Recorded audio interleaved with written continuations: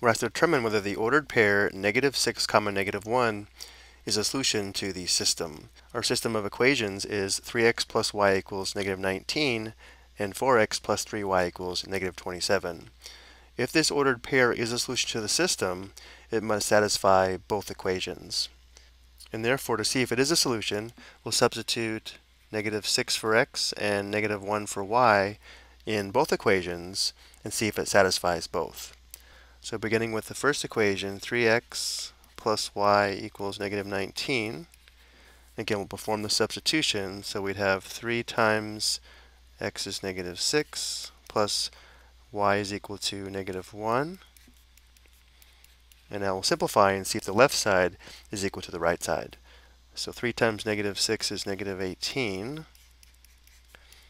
And negative 18 plus negative 1 is negative 19. Of course, negative 19 equals negative 19.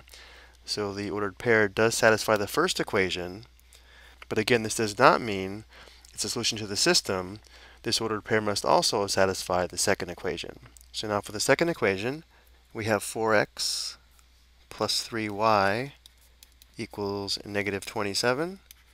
Performing substitution again, we'd have 4 times negative 6 plus 3 times negative 1 equals negative 27.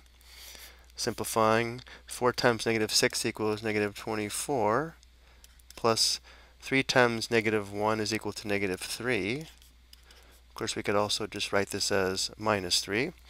But negative 24 plus negative 3 does equal negative 27. Negative 27 equals negative 27 is true. And therefore, this ordered pair also satisfies the second equation, so negative 6 comma negative 1 is a solution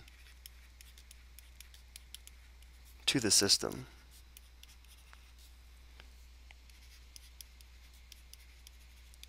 Let's also check this graphically. To check this graphically, we would graph both lines given by these two equations, and because this is a solution, this point would have to be on both lines, and therefore this point would be the intersection of these two lines.